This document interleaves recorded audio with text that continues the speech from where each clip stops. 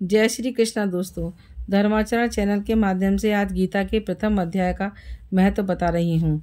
गीता जीवन में जीने की कला तो सिखाती ही है, हमें तेजस्वी बनाकर परमात्मा में लीन होने का रास्ता दिखाती है।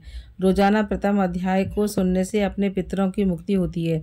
एक आश्रम में ऋषियों के बालक के मुख से एक तोता रोज गीता का प्रथम अध्याय सुनता था। तोते के द्वारा एक वैश्या रोज प्रथम अध्याय सुनती थी। उसके सुनने मात्र से ही वैश्या को सभी पापों से मुक्ति मिल गई और भव सागर को पार करके मोक्ष को प्राप्त हो गई। गीता का प्रथम अध्याय इस प्रकार है। तज धर्म सारे एक मेरी ही शरण को प्राप्त हो। मैं मुक्त पापों से करूँगा, तू न चिंता, व्याप्त हो। राजा धृतराष्ट्र ने कहा रण लालसा से धर्म भू कुरुक्षेत्र में एकत्र हो। मेरे सुतौने पांडवों ने क्या किया, संजय कहो। संजय ने कहा तब देख कर पांडव कंटक को व्यू रचना साज से, इस भांति दुर्योधन वचन कहने लगे गुरुराज से, आचार्य महती सैन्य सारी पांडवों की देखिए, तब शिष्य मधुवर द्रुपद सुतने दल सहित व्यूहित किए। भट्ट भीम अर्जुन से अनेकों शूर श्रेष्ठ धनुर्धरे सात्विकी द्रुपद योद्धा विराट महारथी रणांकुरे।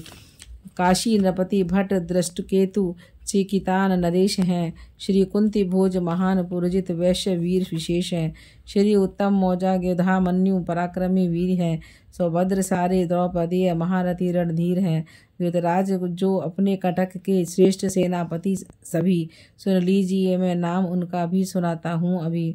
हैं आप फिर श्री भीष्म कर्ण, अजय कर्ण रणधीर हैं। भूरी, श्रवा, गुरुपुत्र और विकर्ण से बलवीर हैं। रणसाज साजे, निपुण, शूर अनेक ऐसे बल भरे मेरे लिए तैयार हैं, जीवन हथेली पर धरे। श्री भीष्म रचित है नहीं, पर्याप्त अपना दल बड़ा, पर भीम रक्षा में उधर पर्याप्त दल बड़ा। इस हेतु निज मोर्चों पर वीर पूरा बल घरे। सब और चारों ओर से रक्षा पितामह की करे। कुरुकुल पितामह तब नपति मन मोद से भरने लगे। कर विकट गर्जन सिंह से निज शंख ध्वनि करने लगे। फिर शंख मेरी ढोल आनक को मुखे चौर से। जब युद्ध बाजे एकदम बजने लगे ध्वनि घोर से। तब कृष्ण अर्जुन श्वेत घोड़ों से सजे रथ पर चढ़े। निज शंखों को बजाते वीर वर आगे बढ़े। श्री कृष्ण अर्जुन पाँच जन्य ने देवदत्त कुंजा उठा। फिर भीष्म कर्मा भीम पौंड्र विनाद करने में जुटे। करने लगे ध्वनि युधिष्ठ निज अनंत विजय लिए। गुंजित नकुल सहदेव ने सुघोष मणि पुष्पक किए। काशी नरेश विशाल धनुधारी शिखंडी वीर भी। भट्ट दुष्ट द्युम्न विराट की श्रेष्ठ योद्धा गण सभी। सब द्रौपदी के सुत द्रौपद सौभद्र बल भरने लगे। चहु और राजन वीर निज ने शंख ध्वनि करने लगे। वह घोर शब्द विदीर्ण सब कौरव हृदय करने लगा। चौर गुंज वसुंधरा आकाश में भरने लगा। सब कौरवों को दीर्ण रण का साज सब पूरा किए। शास्त्र आदि चलने के समय अर्जुन कपिध्वज धनु लिए। श्री कृष्ण से कहने लगे, आगे बड़ा रथ लीजिए। दोनों दलों के बीच में अच्युत खड़ा कर दीजिए। कलो निरीक्षण युद्ध में जो जो रणवीर हैं, इस युद्ध में माधव मुझे जिन पर चलाने तीर हैं। मैं देख लूँ रण हेतु जो आए यहाँ बलवान हैं, जो चाहते दुर्बुद्धि, दुर्योधन, कुमति, कल्याण है। संजय ने कहा श्री कृष्ण ने जब गुड़ाकेश विचार भारत सुन लिया, दोनों दलों के बीच में जाकर खड़ा रथ को किया। राजा रथी श्री विष्णु द्रोणाचार्य के जा सामने लो देख लो कौरव कटक। अर्जुन कहा, भगवान ने तब पार्थ ने देखा, वहाँ सब है स्वजन बूढ़े बड़े।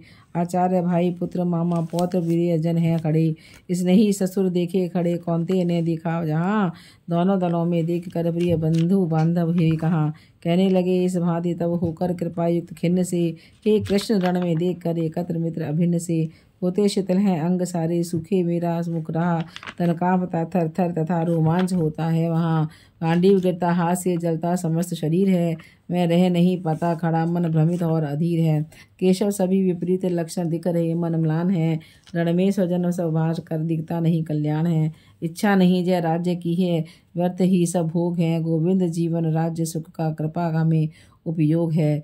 जिनके लिए सुख भोग संपत्ति राज्य की इच्छा रही लड़ने खड़े हैं आज जज धन और जीवन की वही। आचार्य गण मामा पितामह सुत सभी बड़े बूढ़े, साले, ससुर, स्नेही, सब प्रिय पौत्र संबंधी खड़े।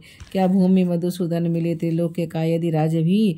ले, मार ले, वह शस्त्र में उन पर छोड़ूँगा कभी। इनको जनार्दन मार कर होगा हमें संताप ही। है आताताई मारने से पर लगेगा पाप ही।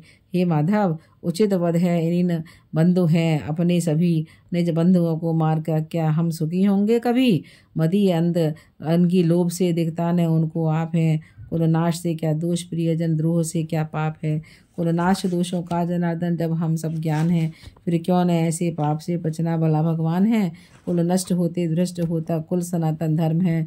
जब धर्म जाता, दबाता पाप और अधर्म है। जब वृद्धि होती, पाप की कुल की बिगड़ती नारियाँ, हे कृष्ण फलती फूलती, तब वर्ण शंकर क्यारियाँ। कुल घातकी को और कुल को ये गिराती पाप में, होता न तर्पण पिंड यो पड़ते निरंतर संताप में। कुल घातकों के वर्ण शंकर कार की इस पाप से सारे सनातन जाति कुल के धर्म मिटते आपसे। इस भांति से कुल धर्म जिनके कृष्ण होते भ्रष्ट हैं, कहते सुना है वे सदा पाते नरक में कष्ट हैं। हम राज्य सुख के लोभ से हा पाप या निश्चय किए, उद्यत हुए संबंधियों के प्राण लेने के लिए। यह ठीक हो यदि शस्त्र ले मारे मुझे कौरव सभी, निशस्त्र हो मैं छोड़ दूँ करना सभी प्रतिकार भी। संजय ने कहा, रणभूमि में इस भांति कहकर पार्थ धनु, शर छोड़ के अतिशोक से व्याकुल हुए बैठे वहीं मुख मोड़ के। ओम हरिओम तत्सत हरिओम तत्सत हरिओम तत्सत।